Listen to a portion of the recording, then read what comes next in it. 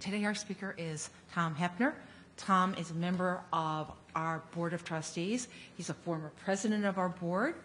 Uh, he is also a former uh, chair of the National Membership Society of the American Ethical Union, of which we are. The Chicago Society is the second oldest society. It is one of about 25 other ethical societies uh, in the United States. We're also part of a national movement. Thank you, Sue. Good morning. Welcome to the Ethical Humanist Society. Um, it is my great treat to talk about two things um, the origins of ethical humanism as we are today. Um, and um, this is an appropriate time, perhaps, to do that. Um, this week I became 68 years old. That happens to be uh, just double the age of um, what is called the ethical culture movement. Uh, some 136 years ago, um, the ethical culture movement officially started. Um, and you can talk about those things over a great history, but I would like to, uh, as we, I do when I teach and uh, speak about various other things in medicine, uh, recognize that a case study is always the best way to start on teaching anything and talking about anything because it makes it real to you. Uh, because things that happened so far back, it's hard to imagine where we've come in, in this time. So I'll talk a little bit about my personal journey. Uh, and um, I would recognize that um, I think I've come some significant distance, and the world has certainly changed in a little bit. Uh, there are images, of course, of what the world is like. I'd suggest that all of us, um, the vast majority of us, go through some kind of an ethical journey where we make choices or things just happen that change the way we do things rather dramatically. Uh, and uh, you see represented here uh, some images from uh, Dante's Inferno. There were representations. I would have grown up with a good education. I would have grown up and knowing about um, these various levels of hell that might have existed in somebody's imagination, and, and certainly uh, what could be more real than those incredible structures that are in the great paintings, or more recently the possibility that, in fact, there is beauty and love uh, that might uh, prevail in various other ways. But um, in order to know where we've come to, we need to know where we started out. So I just start out with something about where I started out. Uh, you may recognize something called the Our Father. It reads something like, Our Father, who art in heaven, hallowed be thy name. Thy kingdom come, thy will be done, on earth as it is in heaven. Give us this day our daily bread, and forgive us our trespasses, as we forgive those who trespass against us. And lead us not into temptation, but deliver us from evil. Amen. I would have learned that when I was four or five years old, shortly after I learned how to speak. Um, within a short time later, I would have learned something a little bit more uh, elaborate, the Apostles' Creed, which is the prayer of faith in the teachings of Jesus and his church. Uh, and it indicated your level of commitment. I believe in Almighty in God, God, the Father Almighty, Creator of heaven and earth. I believe in Jesus Christ, His only Son, our Lord, who was conceived by the Holy Spirit, born of the Virgin Mary, suffered under Pontius Pilate, was crucified, died, and was buried. He descended to the dead. On the third day, he rose again, ascended to heaven, and is seated at the right, seated at the right hand of the Father. He will come again to judge the living and the dead. I believe in the Holy Spirit, the Holy Catholic Church, the communion of saints, forgiveness of sins, the resurrection of the body, and life everlasting. Amen. That's an enormous amount of history as well as commitment. Most of it you might not see around as you walk around every day, either in this building or even out in the outside. But I do, of all of that, and, and most of it, it sounds very different to me than it did when I was five, six, or 10, or 20. But uh, there are a couple of things that I would ask you to pay a little bit attention to uh, beyond those remarkable supernatural su- suggestions and, and history. Is um, is one term forgiveness of sins. And I would just look forward as we develop how we think about and what I think about today of how I live is whether we have a process, because as you'll see, and you may very well know, that every religious tradition has some way of acknowledging fault and an organized way of forgiveness.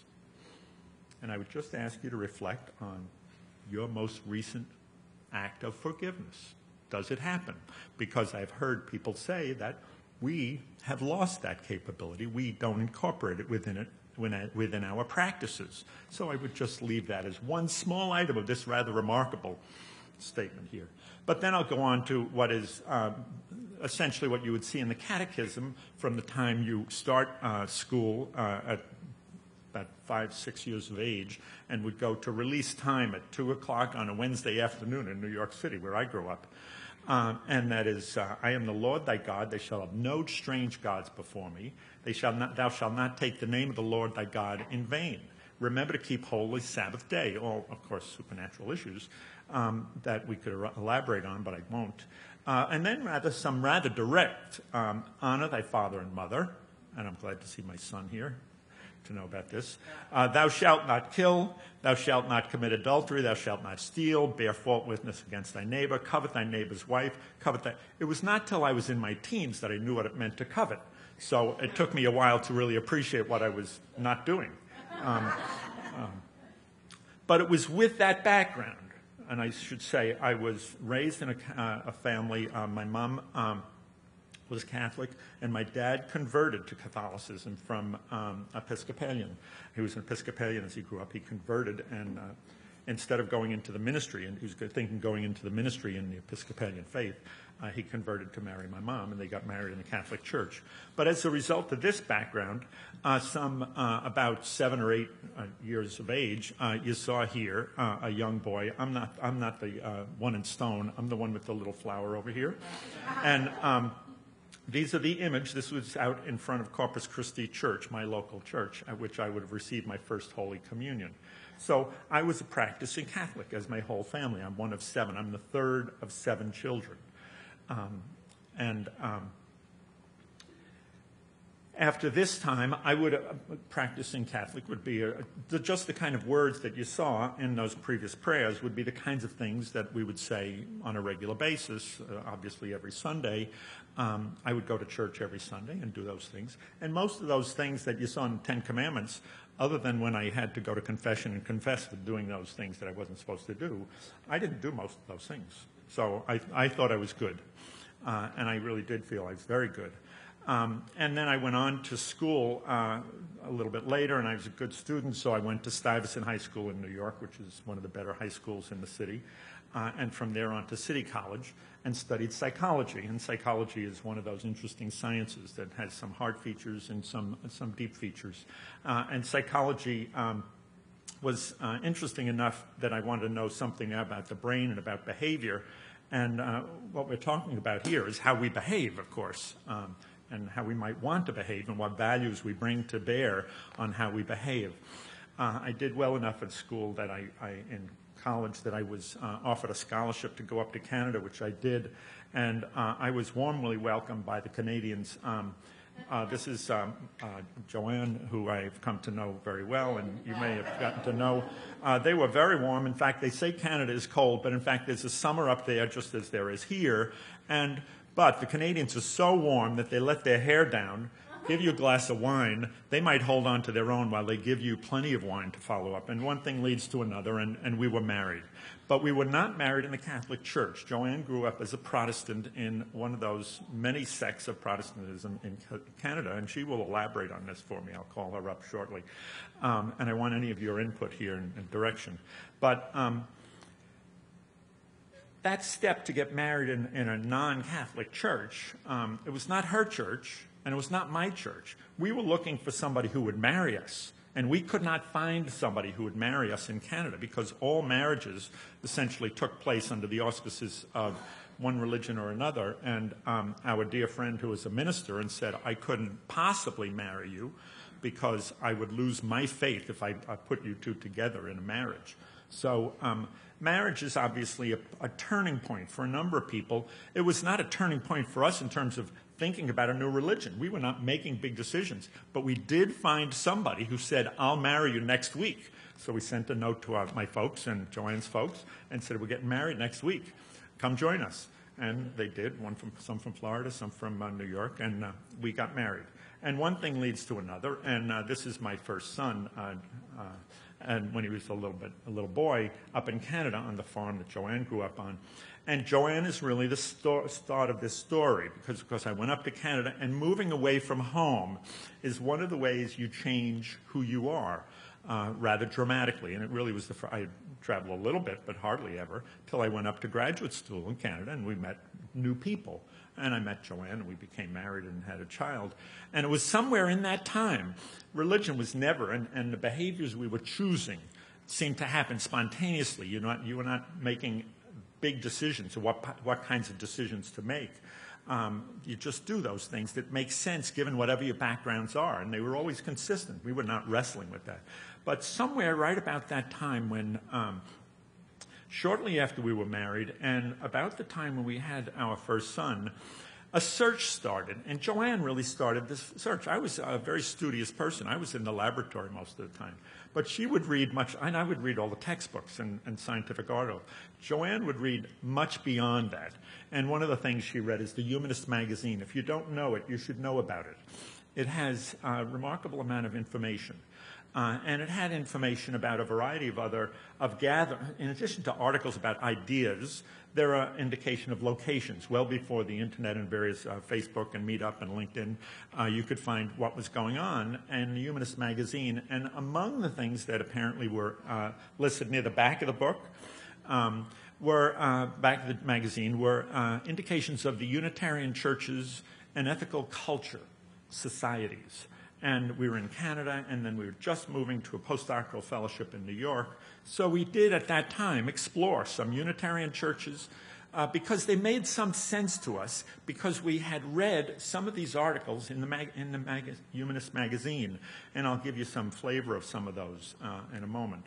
Uh, but that brought us to go and sample some of those uh, Unitarian churches, and because we moved to New York, uh, we happened to sample, in the same vein, the Ethical Culture Society of Queens. And um, I, we were living in Queens at the time where I grew up and my family still lives. So it, it, made sense just to explore this. And we got to meet people and ideas that made sense. And I'd suggest that people and ideas have to come together to make sense that make you stay. And uh, I, I continue to emphasize that people and ideas that feel close to you intellectually and, and personally, that people you want to spend your time with. Um, so let me turn then to um, this notion of ethical culture. Ethical culture, um, when I say the origins of ethical humanism, um, the, the, name that was initially uh, given to this movement, uh, which was called a movement, was um, ethical culture. And a name that you should know is Felix Adler. Felix Adler was the founder of ethical culture, and we'll talk about it a little bit.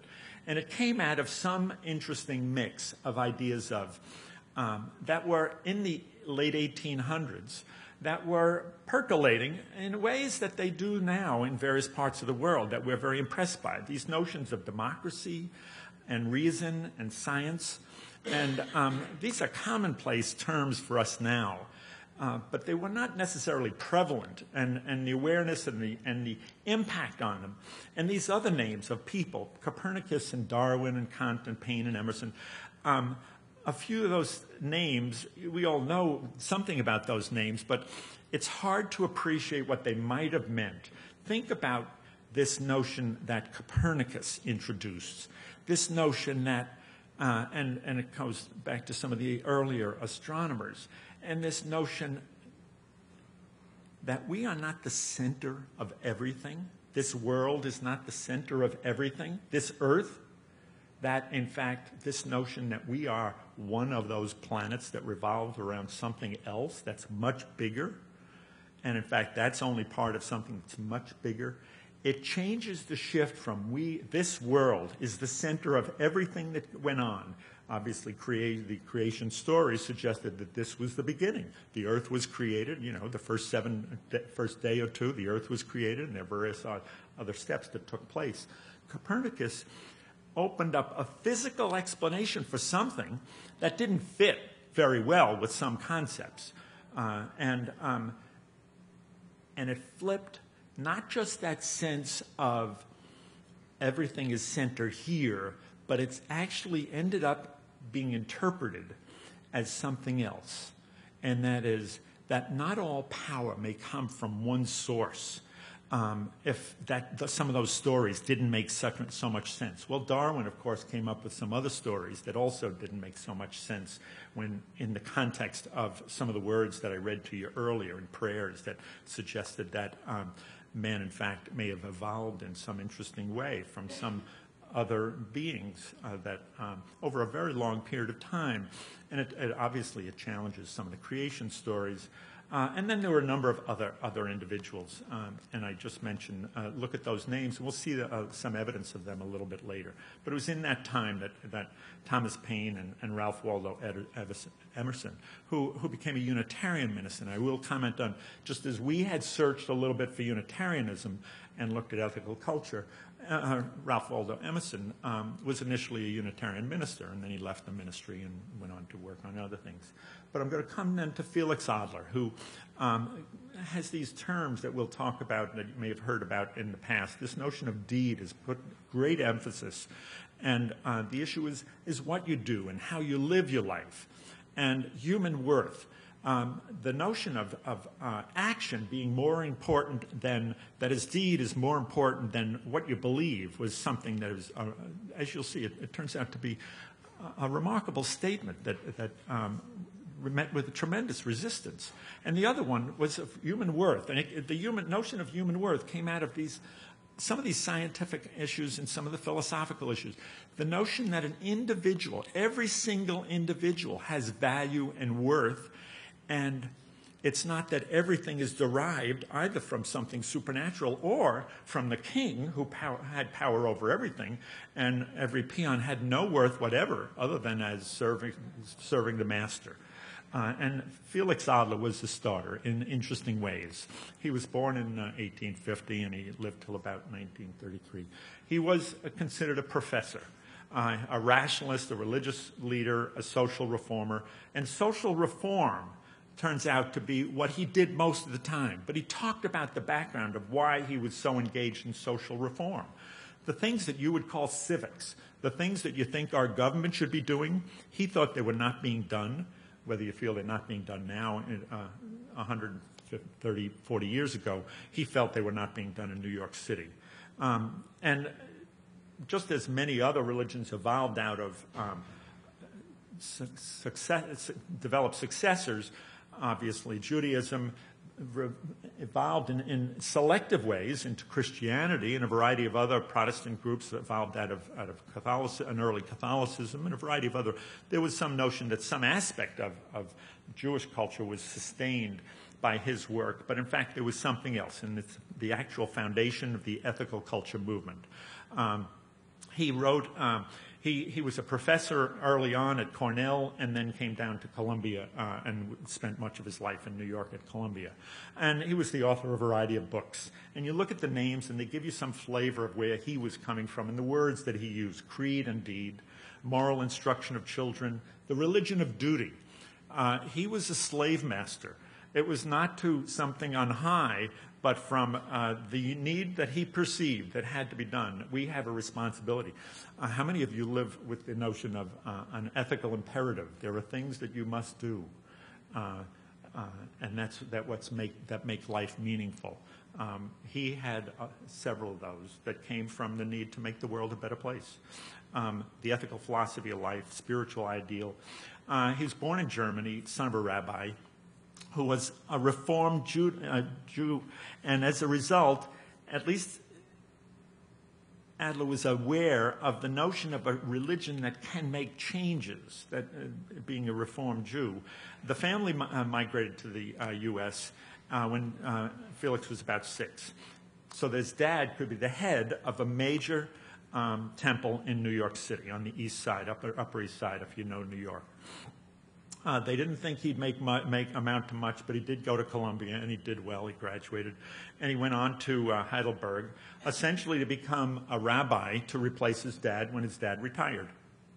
And in Germany, he was influenced by a few ideas. And we've referred to Kant, and I'm no philosopher, but uh, I get all my information either from um, Wikipedia, Google, or um, various other sources, and that's where half of this comes from in the beginning.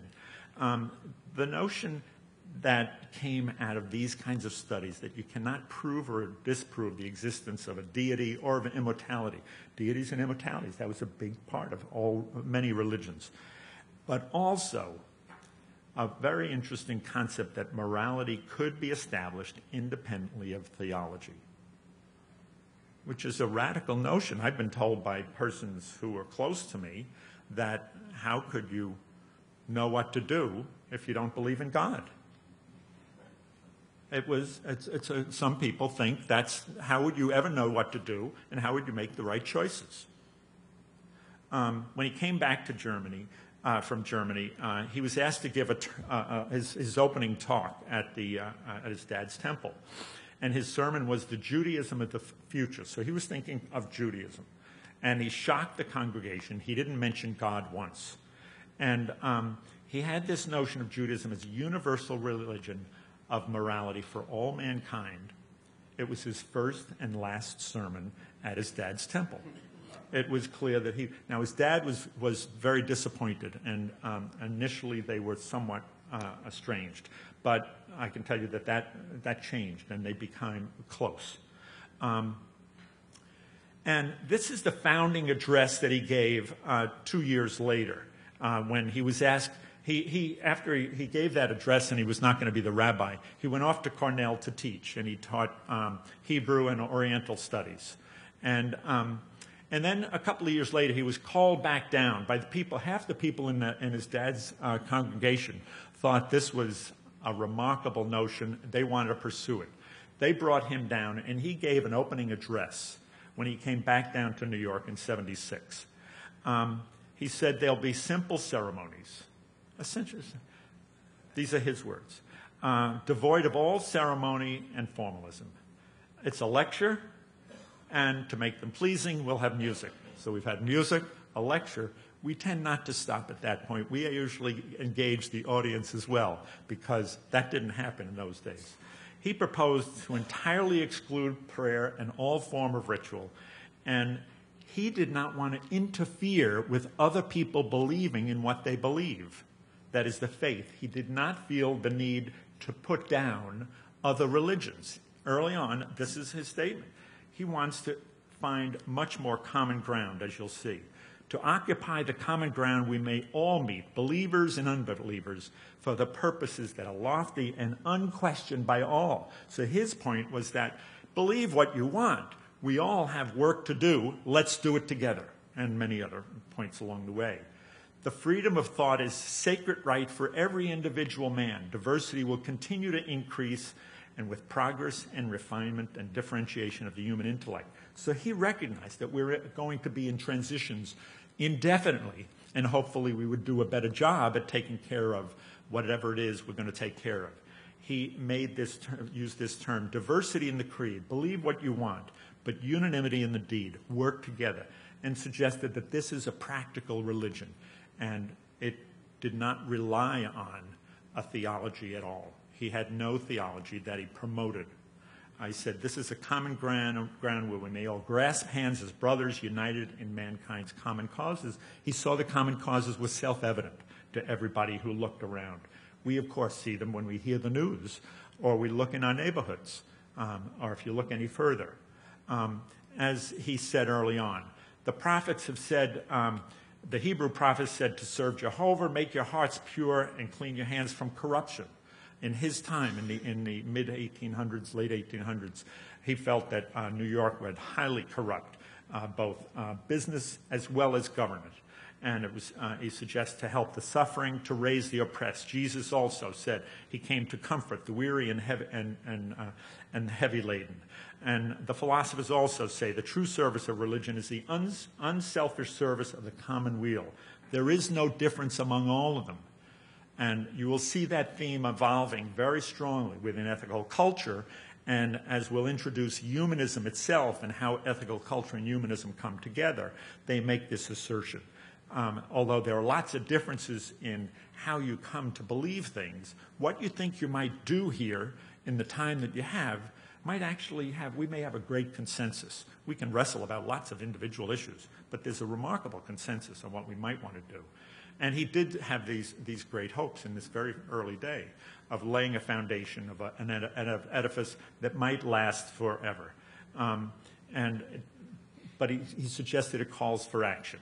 He was a true idealist and wanted people to work together for cooperative activity. Um, it became clear he was not going to be the rabbi. He went up to Cornell. Uh, interestingly, he went up to Cornell, and universities were not very different then than they are now. Apparently, some of his uh, father's colleagues at the uh, uh temple had given a grant for him to go to, uh, to Cornell and teach. Uh, and then, when he did talked about the things that he was interested in, they called him an atheist. So these, these powerful words will start to come back and see how can you address a common ground when you're called something that narrows you down.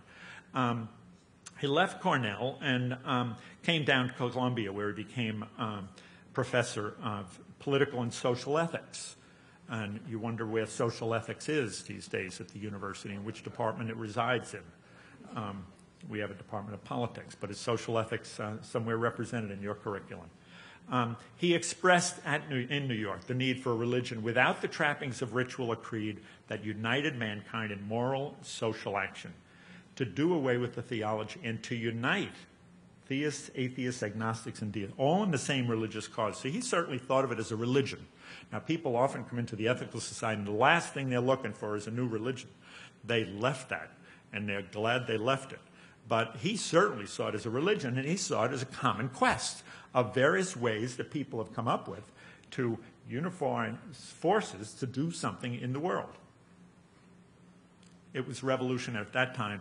It turns out, in some regards, it's still revolutionary. The notion that you can do away with, you can uh, bring all these people together and have some common cause.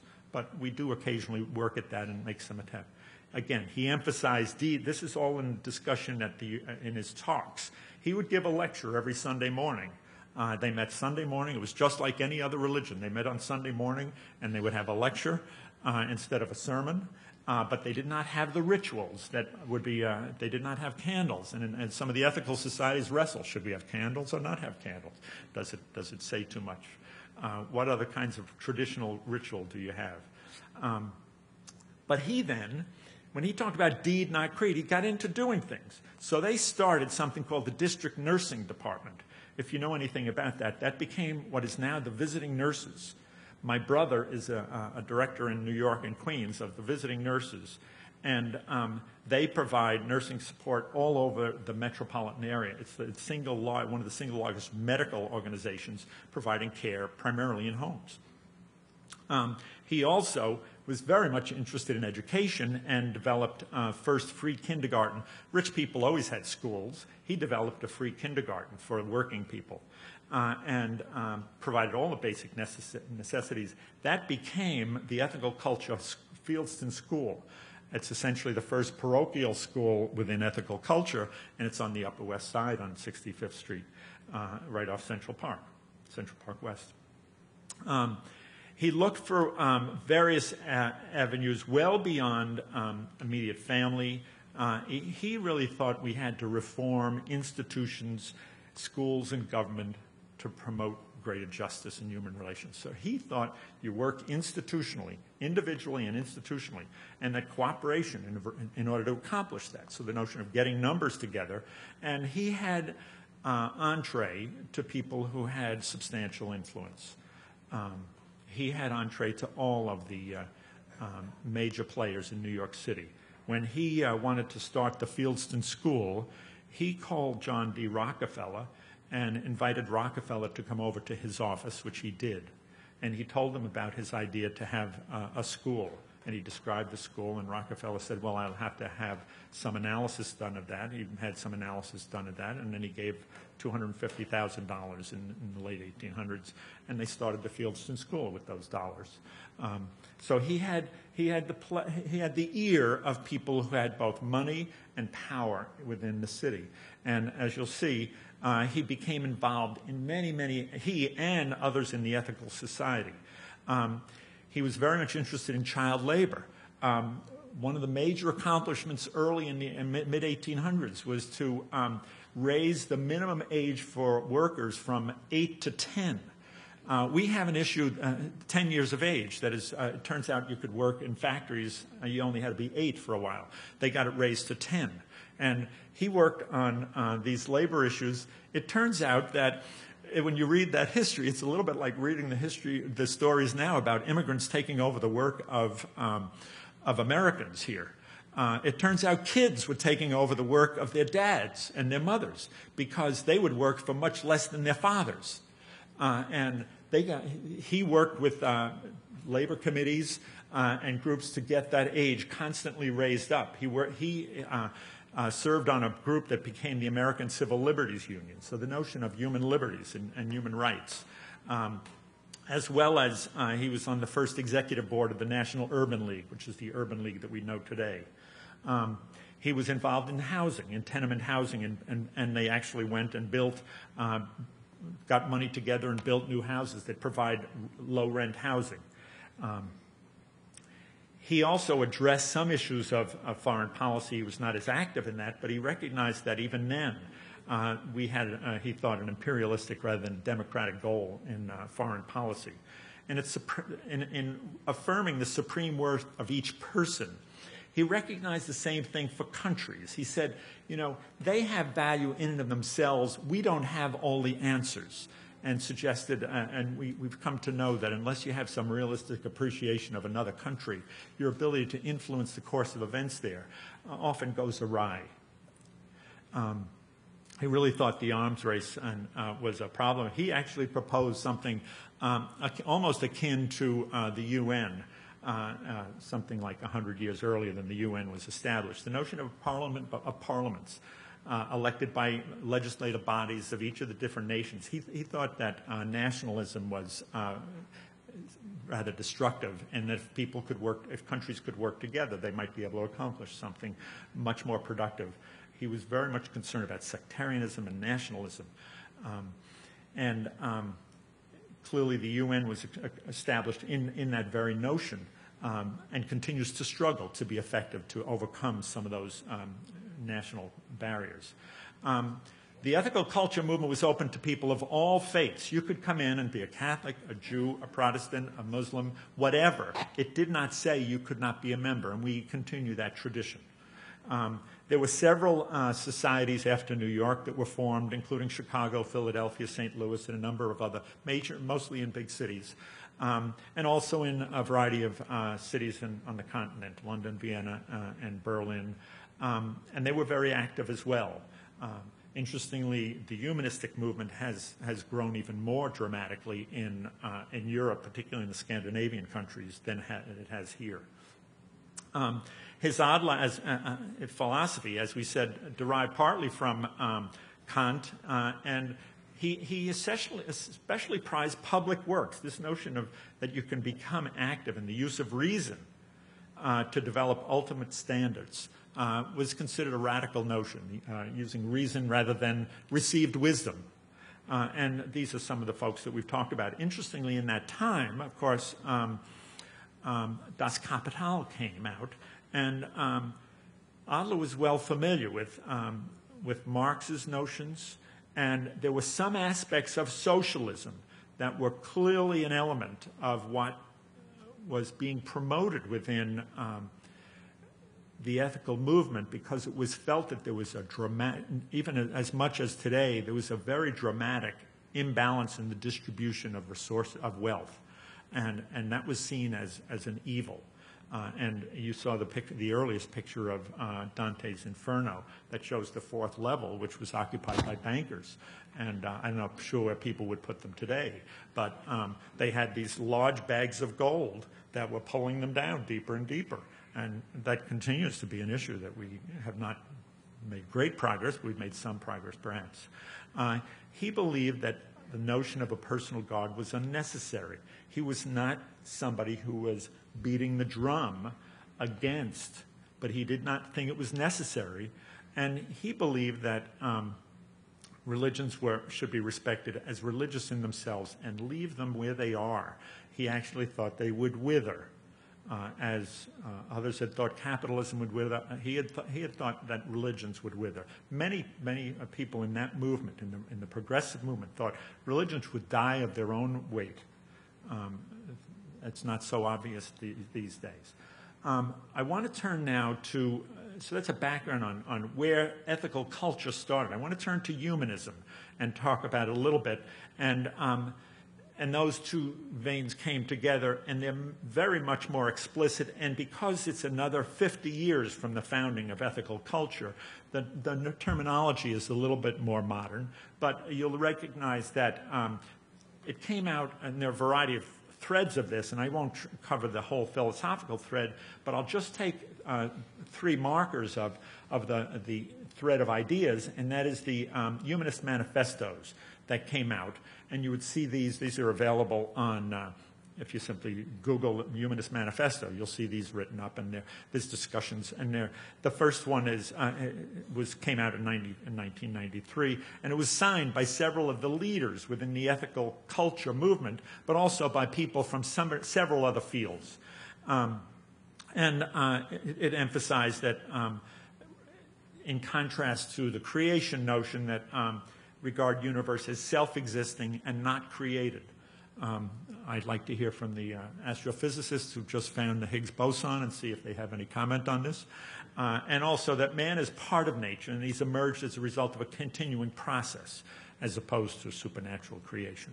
And uh, other points he emphasized, and I just select a few of these. It asserts that the nature of the universe depicted by modern science makes any unacceptable any supernatural or cosmic guarantees of human values.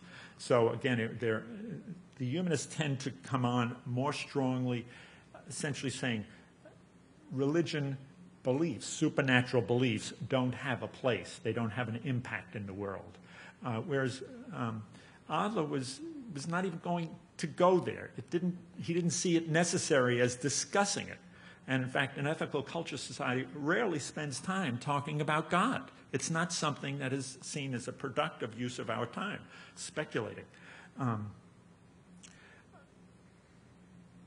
this, this other emphasis that the humanist finds is religious emotions expressed in a sense of personal life and in a cooperative effort to promote social well being was the strength that was promoted. Um, and the final one of the of manifesto that I just they assert that humanism will affirm rather than deny life. Recognize that uh, having grown up as a Catholic, the notion that this life, and Peter would always uh, refer to this, this is only preparation for the long afterlife that we hold, hope to hold, and that this is this really this life doesn't count, other than your ability to get into heaven or hell. I can't say I lived with that continuous fear on, on in either direction, but there is no question that biologically uh, there are uh, positive and negative features. That is, we are attracted to positive things and we avoid pain. We, uh, the pleasure pain theory drives an awful lot of behavior on a very immediate basis. Uh, but they, they suggested that, um, that many religions simply reject the value of life. And, and the humanists seek to elicit the possibilities, not flee from them and, and endeavor to establish conditions of a satisfactory life for all, not merely for a few. And again, this concept that not just me, not just my family, not just my tribe, but in fact all of us uh, need to work on benefiting everybody else. So you look to the other and say the other is part of us. Um, Humanist Manifesto uh, 2 came out um, another um, 40, 50 years later in, in 1973 um, and emphasize religion, ethics, the individual, democratic society, world community, and humanity as a whole, and just take a couple of notes from there. That traditional, dogmatic, or authoritarian religions that pray, uh, place revelation, God, ritual, or creed above human needs do a disservice. So the notion is not just that it's not scientifically accurate, but it may do a disservice. In fact, some of the suggestions is it may lead people to complacency to not be active in trying to change the world but accept it as it is, as it is the design of some creator. Um, and also suggested that uh, accounts of nature should be determined by science, not by uh, traditional, as traditional religions do. And again, they reaffirm moral values derived from human uh, experience. Um, and, and in 2003, not that far back, 10 years ago or so, um, Humanist Manifesto 3 came out. And I'm just selecting a little pieces of this. But the point is that it's a progressive philosophy in life that without supernaturalism affirms our ability and responsibility. Here, as opposed to the notion that if you don't have uh, a fear of God or a fear of hell, that uh, you would do all the wrong things. Uh, the notion uh, of humanism and ethical culture is that you have responsibility to lead ethical lives of personal fulfillment that aspire to the greater good of humanity. So it's a rather grand expectation. Uh, and it's a life stance. Some people say, is it a religion? Other people say, well, it's not a religion, it's my philosophy. It's a, some, uh, the humanists will say it's a life stance, guided by reason, inspired by, by compassion, and informed by experience. I take those words very seriously. I think they, may, they mean something to me. The use of reason is something I feel very comfortable. Inspired by compassion is something I, I and, and that you connect not just with the people who are closest with you, but with all of individuals that you encounter. And you attribute worth and dignity to every individual. And it's certainly something that Adler continually emphasized, that within every individual, there are capabilities, skills that could be cultivated, and that's why the term ethical culture, the notion of cultivating ethical behavior in every individual, uh, was so prominent. Um, it, it, the uh, Humanist Manifesto ends with a variety of these points and, and brings together several of the points that ethical culture had. And they, they in fact, co published for many years the American Humanist Association and the uh, ethical, the American American Ethical Union, which is the umbrella of all the ethical societies, and the American Humanist Association, um, co-published uh, the Humanist magazine, and this is the kind of proposals that came out of it. Um, and essentially that working to benefit societies maximizes individual happiness. It suggests the focus of some of our efforts, some of our values. I would just point out um, some while ago, uh, we used to have a, a, hand sheet, the kind that you would go into the voting booth with, and uh, I don't know if Judy is here, but she might recognize this humanist fact sheet.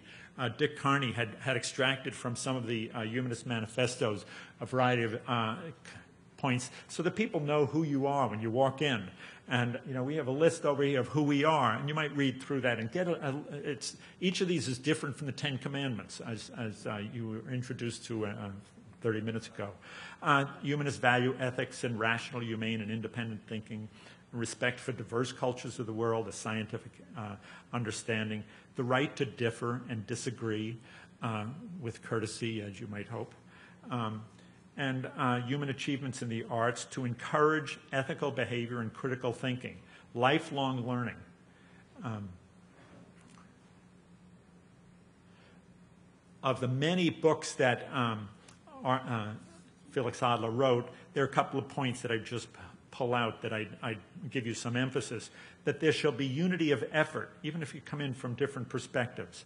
Um, ethical con- gives in, should be engaged in ceaseless efforts at moral imp- uh, improvement. Uh, by moving upward, we, re- we acquire faith in an upward movement. With it was truly an idealistic notion. The question is, can we make ideals real, or what, what is the practicality of where we go with any of these?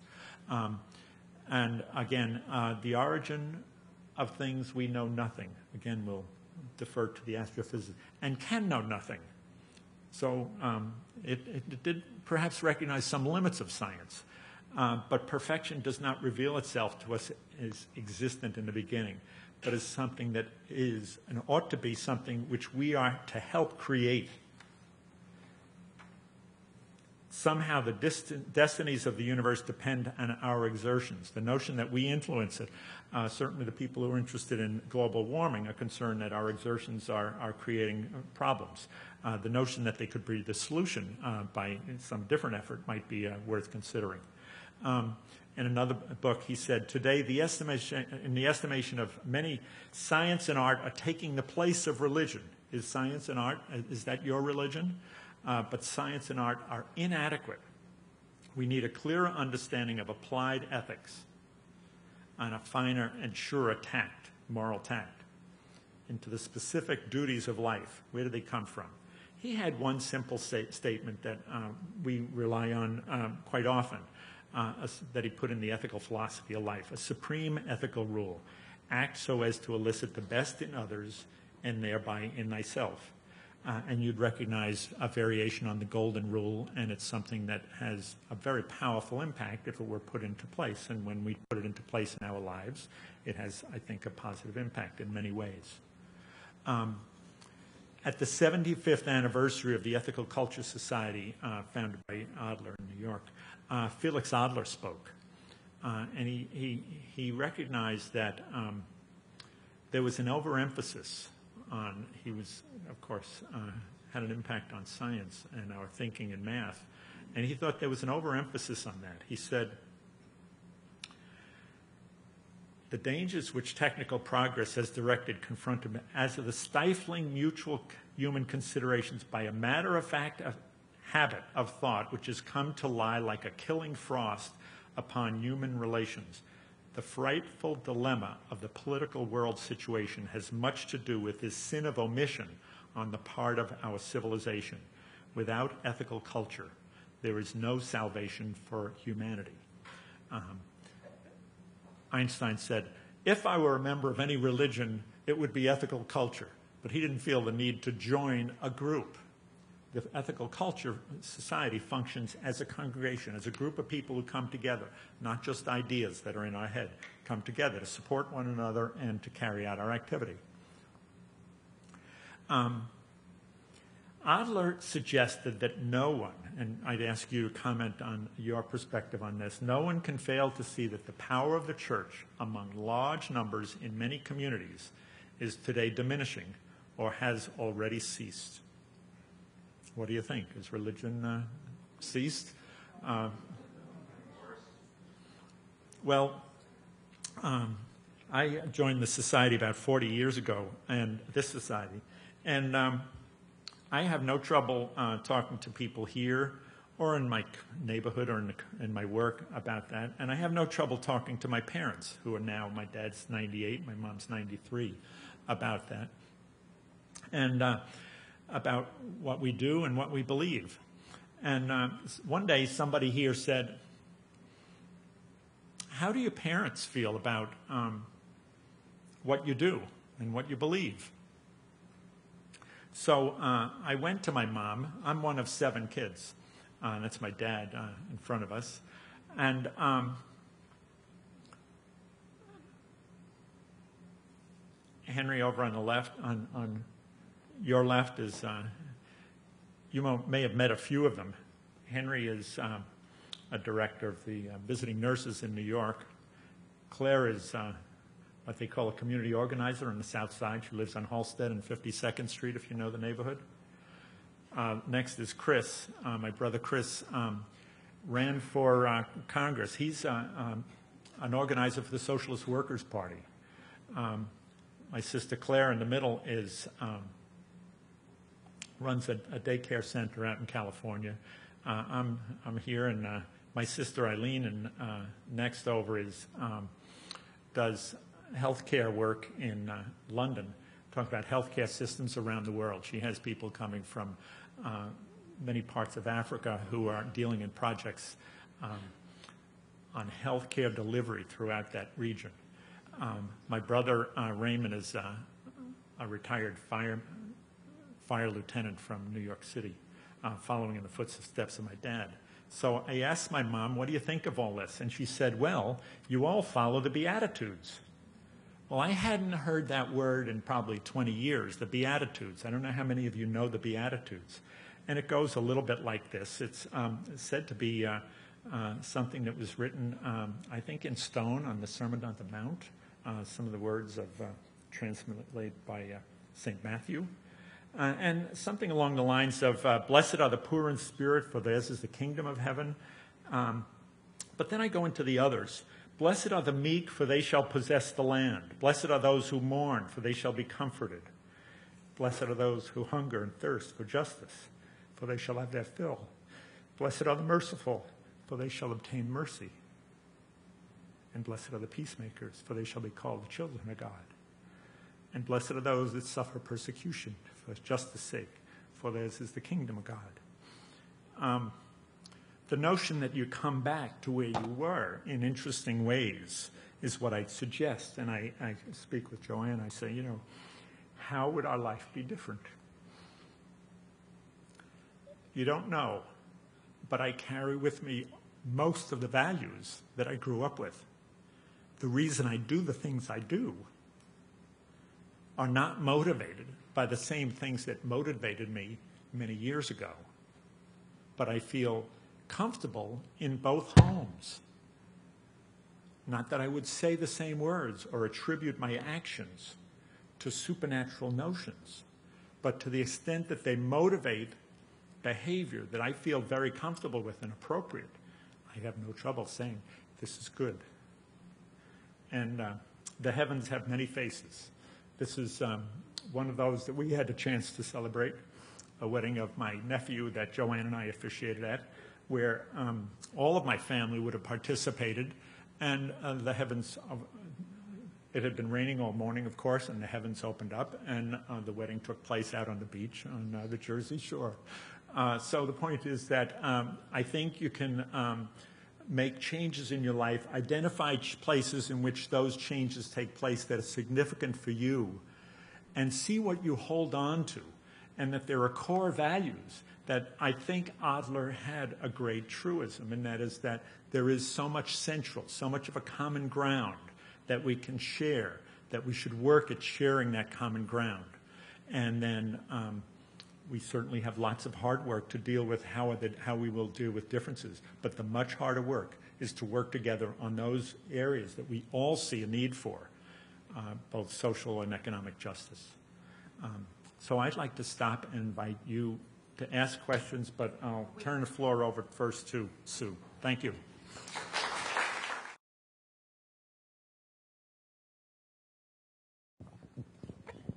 Thanks. That was uh, very helpful because it helped me reconcile something I've always wondered about. Can you put Dick Carney's slide back up? Yes. Um, the first time I found out about what this group was about, it was reading the fact sheet that we used to have up on our website. I think it's still there. Um, if you look at the last bullet, the way that Dick put it, mm-hmm. I see it as being fundamentally different than Adler. Um, and I know this wasn't an accident because I actually talked to Dick about it. Notice it doesn't say uh, the fundamental dignity exists unconditionally. It calls on people to accept responsibility and accountability. And I see, I've always thought that this Adler thing about um, there's uh, good in everybody or, or inherent worth or whatever you want to call it was just as mystical as believing in God. Dick you know, switch the presumption there to say, you know, probably it's there uh, if you play by the rules, but you don't have to respect all these sociopaths and others and just say we should pour unending effort into trying to connect to these people and waste our time trying to salvage these people. So I'm curious if you are more comfortable with the way Dick put it, or you really think we should be trumpeting Adler. I think Adler's is a dead end on this, and in fact, it makes us look actually quite bad when, you, when others hear that. It sounds incredibly naive, whereas I think this is more responsible and sounds more like what I think most of us uh, actually practice. Um, the timing of your question is perfect, both in, in, not just in this particular talk, but um, about three or four weeks ago, uh, my daughter Amy and I were in uh, Albany at the national meeting of the American Ethical Union. And the focus of that meeting was on um, criminal justice. And um, we would meet in various small groups of uh, half a dozen, dozen people discussing one topic or another. And um, at every one of those small groups were people who um, had done hard time in Sing Sing. Albany is just a few miles away from Sing Sing. And um, what you suggest is what effort we should put into individuals to find what core kernel there might be that might be worth promoting. And uh, I must say, when we first went off to that particular meeting, uh, we were, had not focused on that at all. Criminal justice had not been a focus that I had or Amy had been involved in. We were dumbstruck by um, what these folks had to say who had done 20 or 30 years in Sing Sing, who had been involved, who, who had, had made bad choices and could be in one of the categories that you described, that you could say a loser in one regard or another. And um, they were people who were promoting education within Sing Sing because, and within other, the prison system and, and the entire criminal justice system because you may know the government no longer feels it's, it's cost effective to provide that. I, I, am convinced that within each individual there is that capability. I think it's actually a matter of triage. Is what resources are you going to uh, put to bear to bring out that strength that each individual had? Uh, Adler, of course, uh, was starting out with having uh, a level of squalor in New York and recognized that people were not provided education or other resources and thought that if you provided education, and he valued education more than any religious group that I know of, and thought that this was what would bring out that strength, that there are diminishing returns or there are people that will not have a yield uh, if you make that effort. Uh, I don't argue against it. I think uh, it's, uh, it, there may be practicality issues. We might, as you know, we might welcome, our, open our doors to all and be, have such a disruptive meeting. In fact, it brings to mind um, uh, an event that uh, 10 or 20 of you who are here now were present. We opened the floor, as you know, for a talk right here, and we had a man who came in with um, a top hat, and he had um, an American flag draped around his shoulders, and he stood right up here, and he lambasted the entire audience, and he was going on and ranting and raving and telling them how they should live. And uh, I happened to be in the back. Uh, Sue Burke, who was behind me, pushed me up and said, Tom, do something. Because everybody in the audience was going to kill him. They were literally going to get up and, and kill him. And I never saw this audience so riled. And I, I, I walked up and I said to him, Sir, would you say what you want to say? And then passed on the mic. And he spoke for about 10 seconds and then passed on the mic. So I, I, he was clearly disturbed in some significant way. I think there is a kernel that we can cultivate and bring out in everybody, and the issue is what efforts are we prepared to make to do that? Good. Okay. You come. Thank you. Um, I found your lecture really good, and I related to a lot of what you said. You Um, started out with me? Well, um, I'm actually a recovered Pentecostal apostolic faith, so that's like fundamentalist type stuff. Yeah, Um, yeah. Mm-hmm. But I'm college educated, very mm-hmm. experienced. And, mm-hmm. But I'm, enough about myself. What I found really interesting was the point about Copernicus and how it shifted from us being the center to outward. And it sounds like when you were talking about your journey, you know, when you and your wife first got together and you as an individual, as a young man, it was very much about you being the center.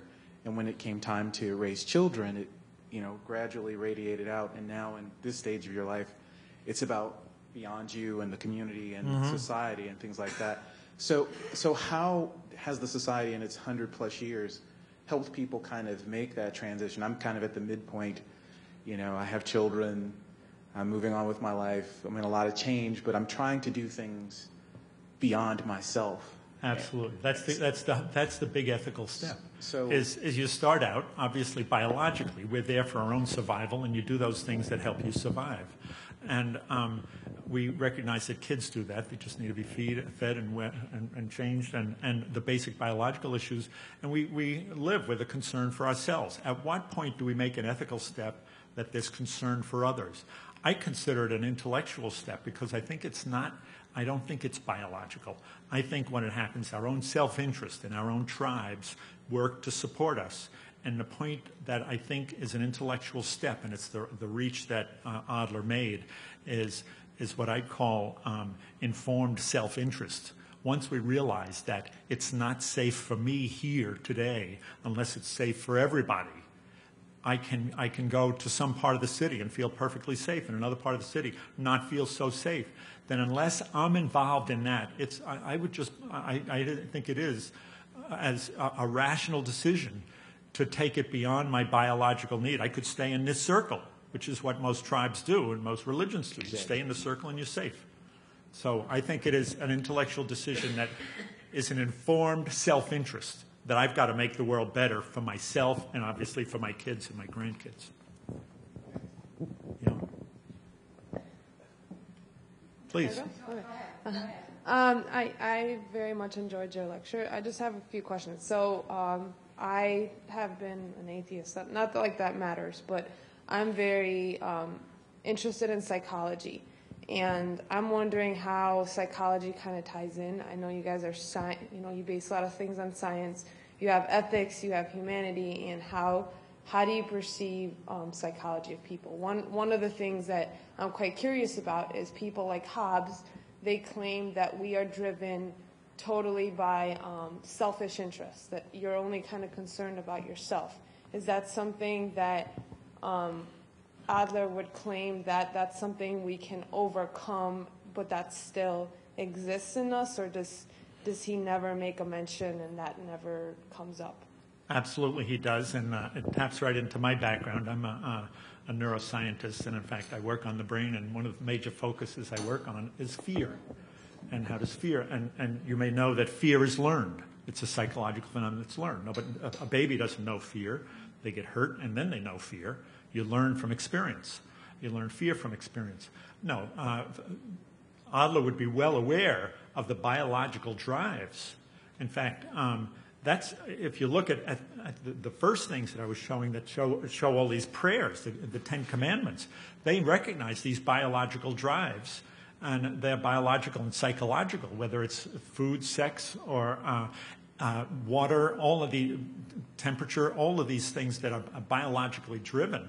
Um, obviously, we unless unless we have some way of uh, dealing with them in uh, at a higher level, they would overcome us as they uh, as obesity does. For instance, if we if we evolved in a setting in which there was some level of scarcity, so that our body needs craves salt and sugar.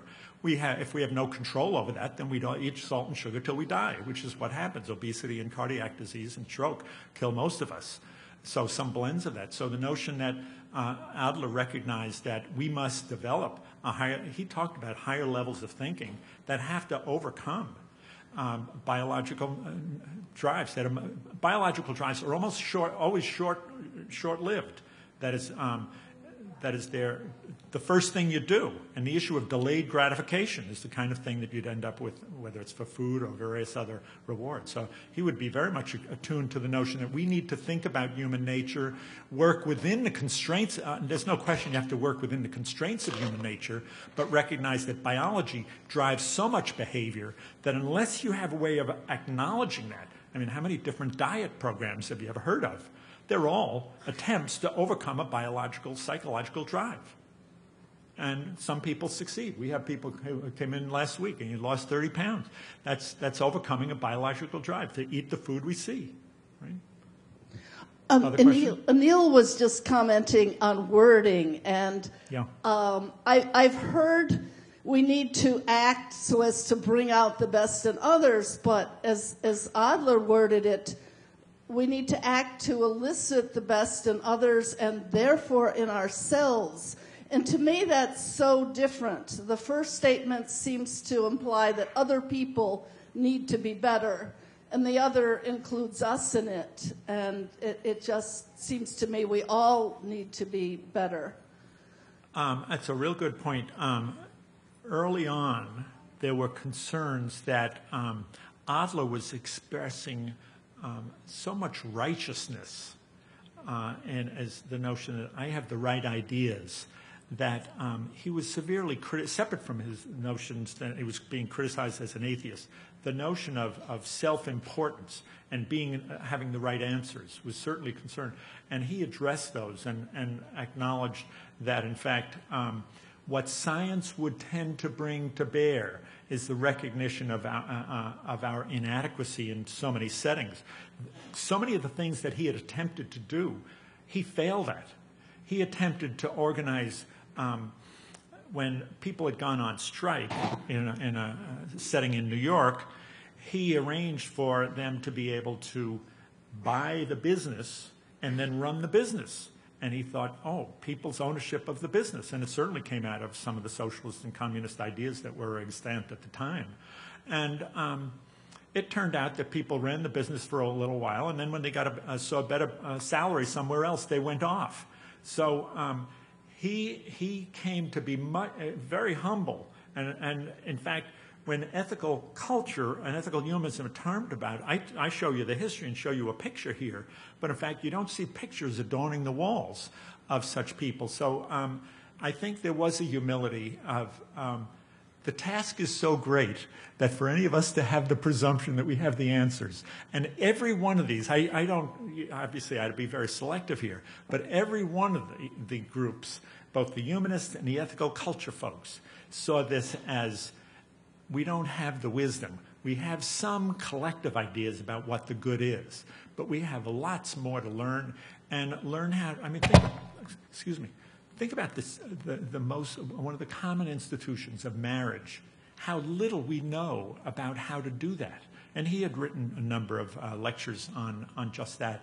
And they recognize how, how weak we are in developing the science of relating to one another.